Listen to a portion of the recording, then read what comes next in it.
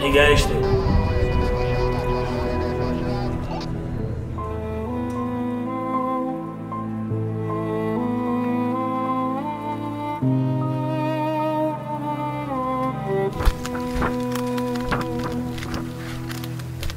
دیوانه واقعی با اعتماد به نفس زندگیشونو می‌کنن.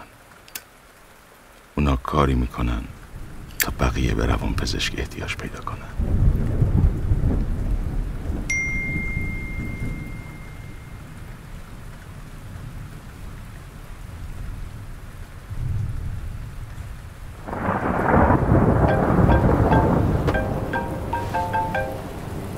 بله. سلام. بله بله شناختم. من به عنوان پزشک معتمد دادگاه نظر خودم به قاضی اعلام کردم. بله بله می‌دونم. بله مجنون بودن موکل شما از نظر من قطعیه. فقط باید خود قاضی رئیس صادر کنه. بله خواهش می‌کنم. حتما. بله بله خواهش. خدا نگهدار.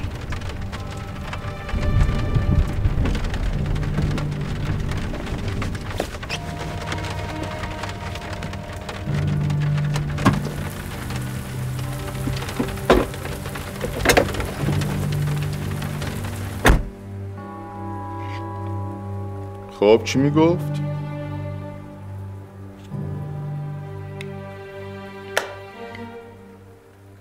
این بار صداش بیشتر از همیشه شبیه صدای پدرم بود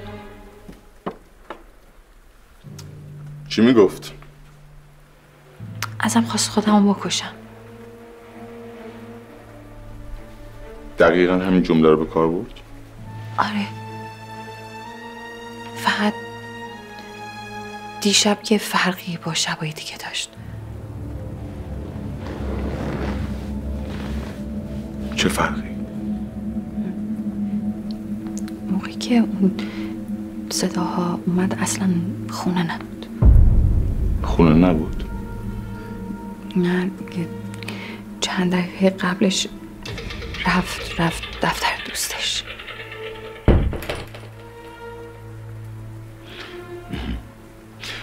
خانم کیانفر بیایید برای چند دقیقه فرض کنیم که همسر شما هیچ نقشی در این ماجرا نداشته. شما هیچ کدوم از حرفای من باور نمی کنید نه؟ گفتم فرض کنیم. این که شما میگید می‌تونه لزوما اشتباه نباشه. می‌تونه میشه. اما من میگم که یک جور دیگه به ماجرا نگاه کنیم. یعنی همسرتون ربطی به این داستان نداشته باشه. نه اینکه فقط خونه نبوده باشه بلکه روحش هم خبردار نباشه. نه نه من, من به آرمان گفته بودم که بهش شک دارم. چی گفت؟ یه اون خیلی خوب بلده دروغای خودش رو باور کنه. یعنی یه جوری حرف می‌زنه که این کار واقعیت داره.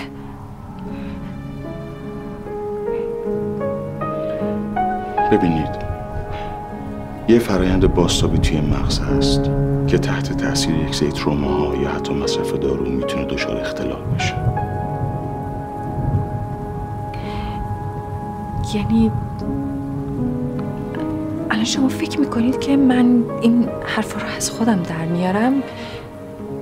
چون چون بهتون گفتم که اون شب خونه نبود.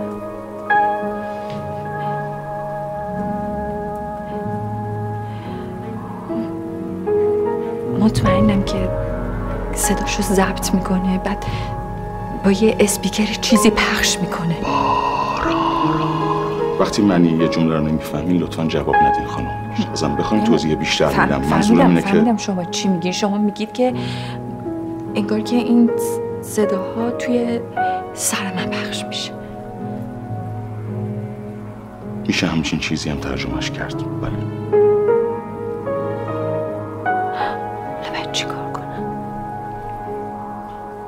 این که میگید باید چی کار کنید خودش نشونه خوبیه.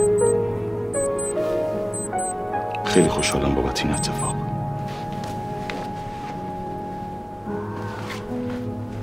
خیلی ممنون. خواهش می‌کنم. این صدا رو اگه دوباره شنیدید یه جا یادداشت کنید که چی میگن بتونید به من نشون بدید.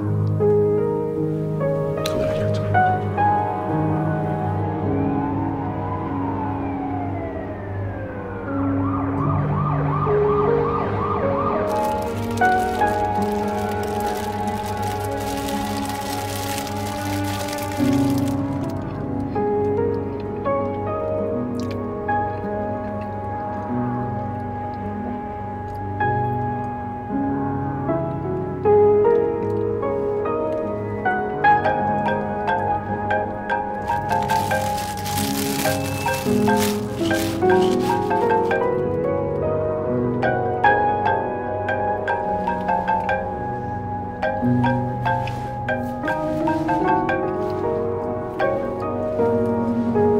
بفرمایید. الو سلام. آقای مسعودی. مسعودی هستم.